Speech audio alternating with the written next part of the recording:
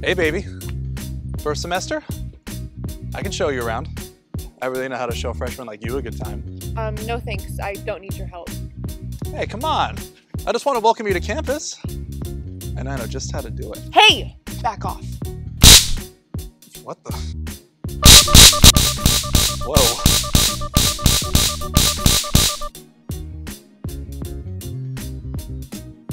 Are you okay? I just got a message from Snapban letting me know your GPS location.